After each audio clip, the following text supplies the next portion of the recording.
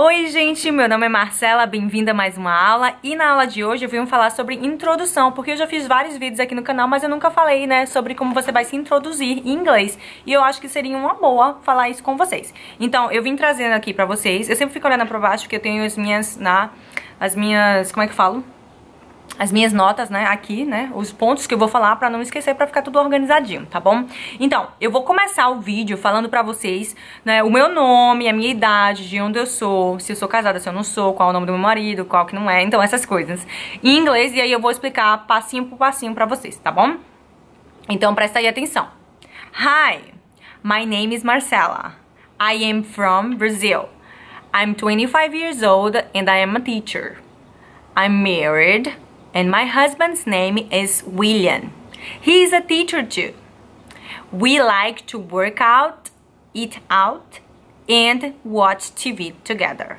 Então, eu falei pra aí, né, que o meu nome é Marcela, que eu sou do Brasil, que eu tenho 25 anos, que eu sou uma professora, que eu sou casada, o nome do meu marido é William, que ele é professor também e que ele e que a gente gosta de malhar, assistir TV juntos e comer fora, comer em restaurantes, né? Então, eu vou fazer passinho por passinho. Eu vou mostrar pra vocês como é a pergunta, vocês vão repetir e aí vocês resp respondem de acordo com o que eu responder também pra ficar bem facinho pra vocês. Um exemplo, a primeira pergunta, quando alguém te pergunta What's your name? Eles estão te perguntando qual o seu nome. E aí eu vou responder My name is Marcela. Você vai fazer a mesma coisa aí do outro lado, mas você vai mudar o seu nome, lógico, porque o seu nome talvez não seja Marcela, né? Talvez seja, sei lá. Enfim, vamos lá, pegou? Então, vamos fazer What's your name? My name is Marcela. What's your name? Entendeu? Sacou? Respondeu? Se quiser repetir também o What's your name? bem bacana, porque quanto mais você repetir, repetir em alto e bom som para você ganhar confiança no seu inglês, tá? Por isso que muita gente fica com medo de falar inglês porque não pratica, tá bom?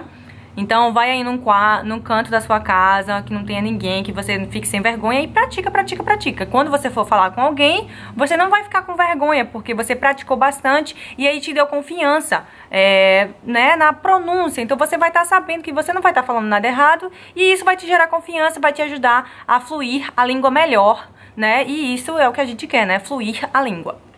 Então a primeira, a per primeira pergunta que é qual o seu nome é What's your name? What's your name? A segunda pergunta, Where are you from? De onde você é?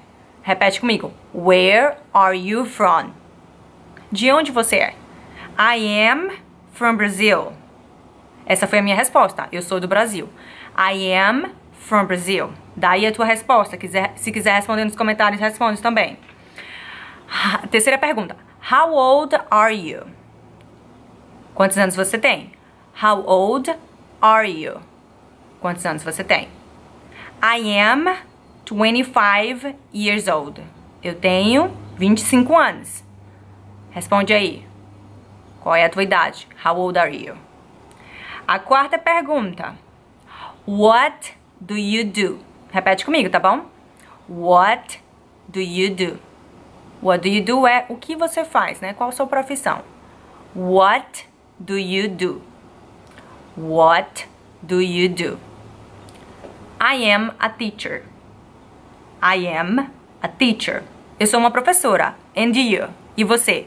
What do you do? O que você faz? É, bota aí nos comentários, repete. Se não sabe a sua profissão, procura no Google, bota naquele, naquele fonozinho pra falar, repete a tua, a tua profissão. Se for recepcionista, receptionist. Se for dentista, dentist, tá bom? Procura no, no Google, a gente tem tudo hoje em dia. Eu fiz até um vídeo sobre profissão, tá? Se quiser assistir. Próxima pergunta. Are you married? Are you married? Você é casada ou casado? Are you married? Repete comigo, tá bom? Are you married? I am married. Eu sou casada. I am married. And you? E você? Are you married? A próxima pergunta. What's your husband's name? Qual o nome do seu marido? E se for esposa, no caso, what's your wife's name? tá bom? Vou repetir os dois e você repete, repete os dois também. What's your husband's name? What's your husband's name? Or, ou então, What's your wife's name? What's your wife's name? Vou responder agora. My husband's name is William. My husband's name is William. What's your husband's name? Qual o nome do seu marido, né? E agora a gente vai perguntar o que o seu marido ou a sua esposa faz, tá bom? Se for ele, vai ser What does he do? What does he do? What does he do? O que ele faz? Ou se for ela, What does she do? What does she do? What does she do? O que ela faz, né? Qual a profissão? Me responde aí. My husband is a teacher too. My husband is a teacher too. O meu marido é professor também. My husband is a teacher too. Tá bom? E aí, o que é que o teu marido ou a tua esposa faz? Me diz aí, escreve nos comentários. E a última pergunta é What do you like to do? What do you like to do? O que você gosta de fazer? Repete aí comigo.